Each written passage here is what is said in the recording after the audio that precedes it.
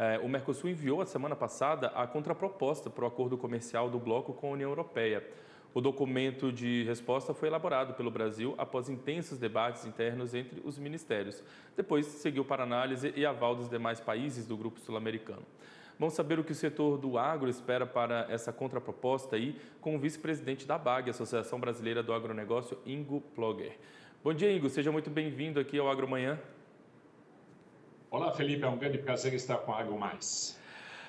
Ingo, pelo que a gente tem ouvido aqui ao longo das nossas entrevistas, é, da maneira que estava, o Mercosul e o Brasil ali não poderiam aceitar as exigências da União Europeia como estava naquela proposta inicial deles, né?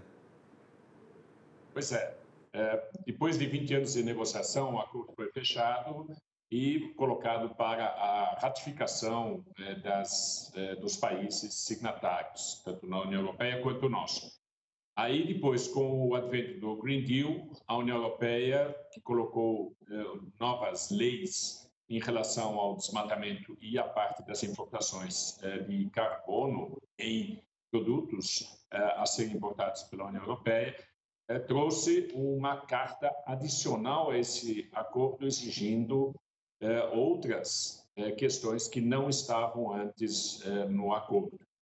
E, portanto, isso foi em março deste ano, quando nós recebemos esta carta pelo Mercosul. O Brasil, agora na liderança do Mercosul, é, coordena a resposta é, para a União Europeia.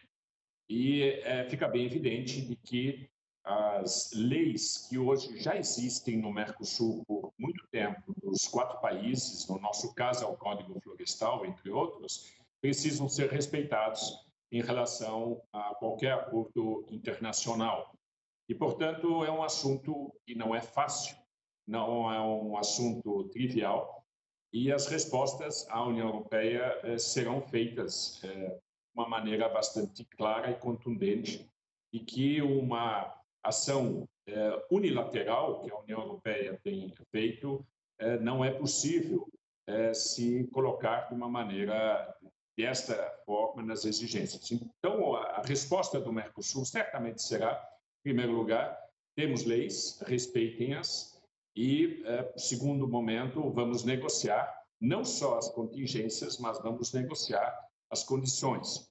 É, não poderá ser aberto o acordo de 20 anos, uma vez já fechado, porque se abrir um milímetro sequer, Felipe, aí todo mundo vai querer é, buscar a sua vantagem comparativa e aí o acordo não sai. Então, estamos falando do side letter. E, claro que aí temos ainda no Mercosul o Uruguai e o Paraguai dentro de um entendimento e a Argentina também, para que se possa fazer essa resposta.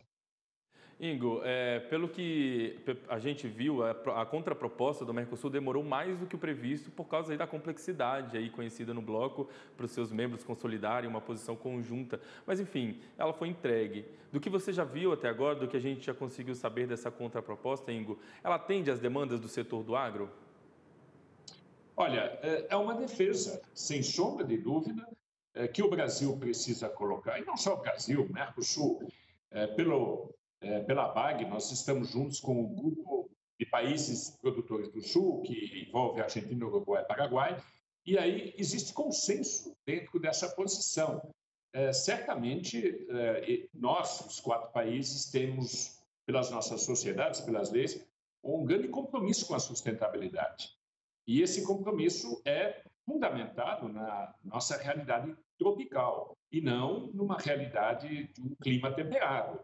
Então, esses entendimentos começam eh, mundialmente a ter repercussão. Na semana passada, tivemos uma carta de 17 países diferentes encaminhados à União Europeia sobre a sua regulamentação do desmatamento, exatamente colocando esse ponto de que é uma ação unilateral, porém, eh, vai afetar também muito a pequenas e médias empresas que, que vão, não vão ter a condição ter essas respostas escaladas naquilo que é a exigência europeia.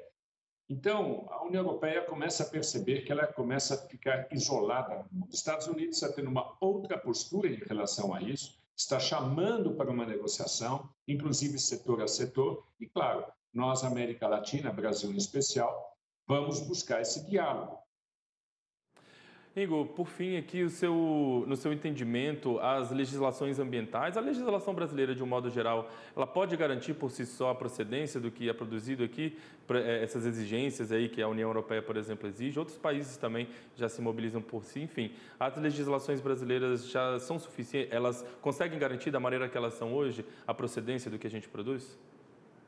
A princípio, sim, Felipe. Se você pensar o Código Florestal, ele passou por mais de quatro governos, passou pelo Congresso muitos anos, foi negociado, foi levado à discussão da sociedade civil, da parte indústria, do agro, etc. E hoje está em implantação. O que a gente pode eh, dizer? Tem alguns estados que estão eh, indo uma velocidade maior, como é o caso do estado de São Paulo, tem outros que não começaram ainda pelo CAR, eh, na digitalização e assim por diante, mas esse é um processo, um processo de implementação. A União Europeia nem começou a sua implementação daquilo que ela chama da política de eh, florestamento. Então, nós estamos há 10 anos avante a União Europeia e ela faz exigências que ela não faz dela internamente. Então, aí fica nítido e claro que não é só o assunto ambiental que está em curso. Né? Isso é vendido para os eleitores europeus. Mas também existe uma forte resistência do setor agro da União Europeia, que quer manter o seu mercado fechado até 2050, como mostra o Green Deal.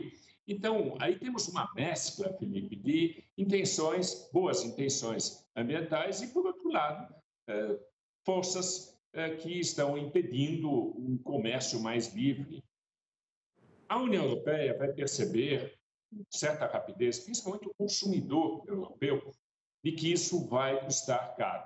Não que ele vai ficar desabastecido, mas ele vai pagar mais caro, porque todas essas certificações, todos esses procedimentos vão ser repassados ao preço.